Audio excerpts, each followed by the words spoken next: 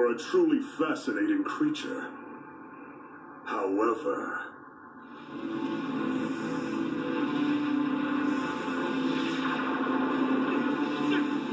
your passion is expended. You have nothing more to offer.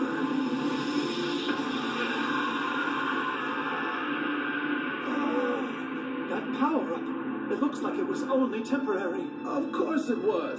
You really think you could master such a divine level on his first try?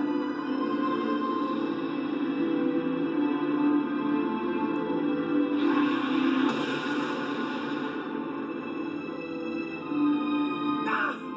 Its attack didn't work!